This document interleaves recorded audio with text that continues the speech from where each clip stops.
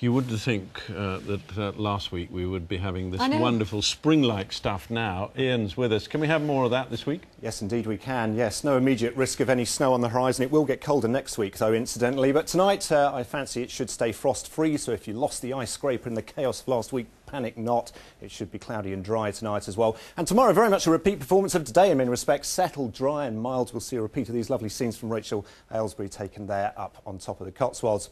Now, the reason we've got the mild air, we've got an anticyclone high pressure sitting to the southwest of the UK. That's dragging this mild air all the way up from the Azores. And that's what led to some pretty impressive temperatures through today, topped by Staverton in Gloucestershire, 13 degrees. And we think that that is the highest in England during the course of today. May well be repeated tomorrow.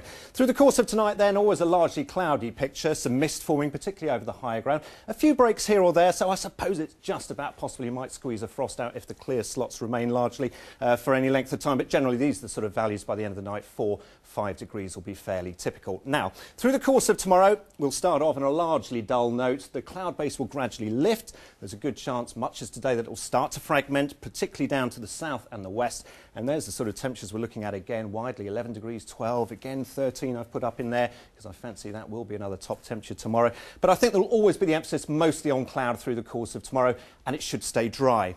Again, through the course of the night into Wednesday, it remains essentially mild, so no problems with any frost. So it's a very similar story as we head into the tail end of this week. Indeed, high pressure in charge by Thursday, though, weak weather front, perhaps some light rain at times, but mild. Mm.